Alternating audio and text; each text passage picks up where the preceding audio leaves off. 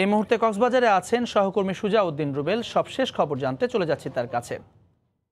রুবেল জাতীয় archery championship প্রতিযোগিতায় নতুন যারা আর্চার রয়েছেন, তাদের জয় জয়কার অবস্থা এখানে।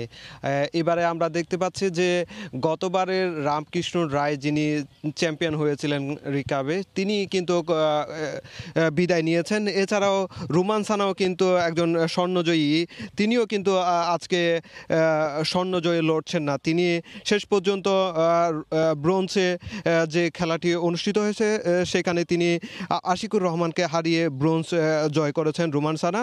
অন্যদিকে রিকাবে নারীদের যে প্রতিযোগিতা ছিল, সেখানে দিয়া এবং ইতি দুজনেই লড়েছিলেন। তার মধ্যে দিয়া কিন্তু ব্রোঞ্জ জয় করেছেন। অন্যদিকে, কম্পাউন্ড নারীতে বন্যা এবং ঋতু দুজনেই প্রতিযোগিতা করেছিলেন। তার মধ্যে ঋতু ব্রোঞ্জ জিতেছেন। আবার অন্যদিকে পুরুষ কম্পাউন্ডে যারা আশিস কুমার বনাম আশিকুজ্জামান লড়েছিলেন। তার মধ্যে আশিকুজ্জামান জয়ী হয়েছেন। তবে এখানে ব্রোঞ্জের যে ব্রোঞ্জের যারা জয়ী হয়েছেন, তাদের ফলাফলটা পাওয়া গেছে। আর যে আজকে সেমিফাইনাল খেলা অনুষ্ঠিত হয়েছিল, সেখানে স্বর্ণ জয়ের জন্য আগামীকাল যারা লড়বেন, তাদের এককভাবে পুরুষের মধ্যে যে দুইজন এসেছেন, তার নাম হচ্ছে আব্দুর রহমান এবং হাকিম আহমেদ। আর রিকাব নারীর মধ্যে মেহের নাজ, আক্তার বনাম নাজমিন খাতুন আর কম্পাউন্ড নারীর মধ্যে হিমু বনাম রহমান আর নারীর মধ্যে রুকসানা বনাম সুস্মিতা এই দুজন লড়াই করবেন।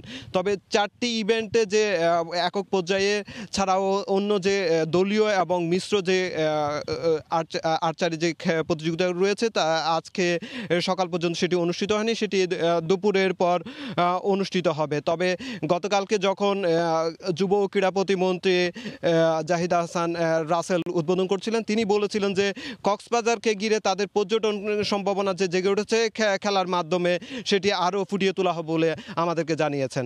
তো জ্যাভলিন এই ছিল আমার কাছে বারোতম জাতীয় আর্চারি চ্যাম্পিয়নশিপের সর্বশেষ খবর। কক্সবাজার থেকে আর্চারি জাতীয় চ্যাম্পিয়নশিপের সবশেষ খবর জানাচ্ছিলেন সহকর্মী সুজাউদ্দিন রুবেল।